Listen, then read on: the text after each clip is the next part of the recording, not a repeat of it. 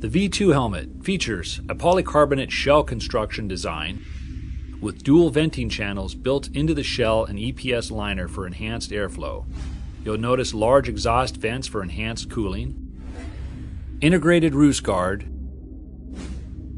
The air-cool comfort liner and cheek pads offer a superior fit and moisture control and meet Snell 2005 and DOT standards.